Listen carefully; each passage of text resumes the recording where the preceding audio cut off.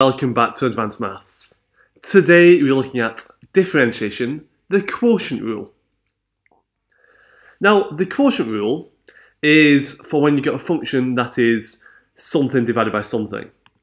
So you might have a function on top divided by a function on the bottom. We call a function on the top u, and we call a function on the bottom v.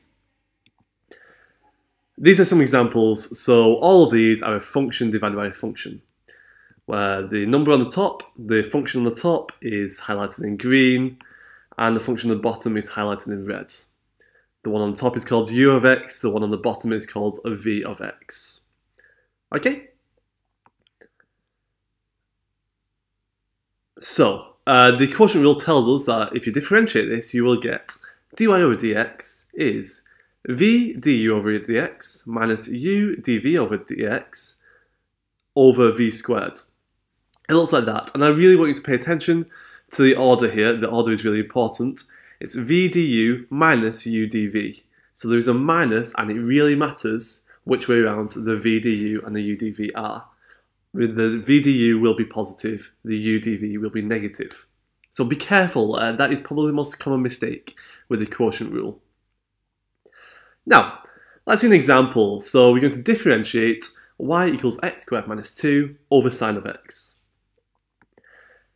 And we've got the u is x squared minus 2, the v is sine of x. We're just taking the u and the v from the top and the bottom of the uh, quotient. We differentiate x squared minus 2 differentiates to 2x, and sine of x differentiates to cos of x. Okay? If you don't remember, uh, the rules for differentiation, uh, then I have videos on uh, simple differentiation and differentiating common functions like sine of x and cos of x. Now continue, we're going to use a quotient rule. I'm going to substitute these values in uh, like this. And I've color coded it there for you for what I'm substituting into where. Uh, so uh, that goes like this. All those numbers go in, all those functions go in like this. Take a moment and look at where everything's going in. Okay, you're happy? Now we're going to simplify a little bit. Like that.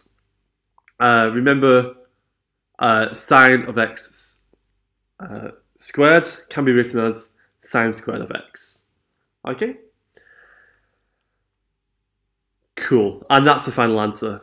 You should always simplify this if you can, but this one can't really simplify um, properly.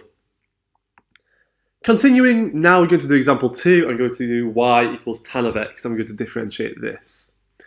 Now, what you need to remember is that y equals tan of x is the same as sine of x over cos of x. This is a basic rule of trigonometry. Uh, if you don't remember this, then it will be in your textbook.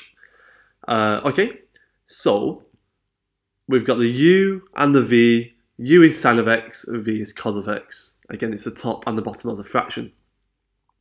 And that's the whole point of changing tan of x into sine of x over cos of x, because now we can use this quotient rule because it is a divide, it is a quotient.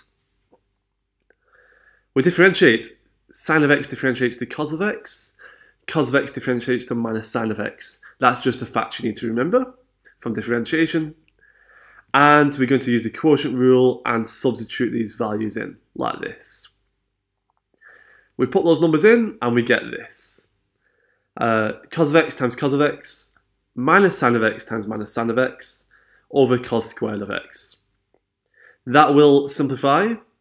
The minus sine of x times minus sine of x becomes plus sine of x times sine of x, which is, of course, they are squared we just get cos squared of x plus sine squared of x over cos squared of x.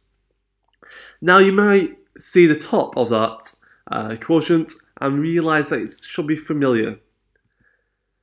So you should see that cos squared of x plus sine squared of x is the same as 1. And that's a rule you should know from earlier in your course. Okay, so we can replace the top of that fraction by a 1, like this. And 1 over cos squared of x, you should know, is the same as sec squared of x. So we have used a few trigonometric identities there to simplify. If you don't know your trigonometric identities, don't worry, uh, you will come across these soon in your course. Continue.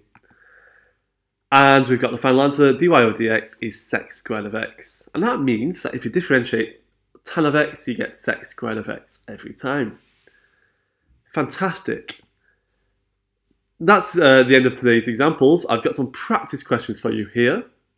Uh, please pause the video and try these examples yourself. Okay? I will reveal the answers when you're ready in three, two, one. Did you get it right? Please let me know in the comments. I'd love to know your feedback. If you have any questions, please also ask in the comments. But if you enjoyed today's video from Addvance Maths, please remember to like and subscribe for more videos. We have more videos coming every week for all of secondary maths. Okay? Thanks for watching and good luck in your exams.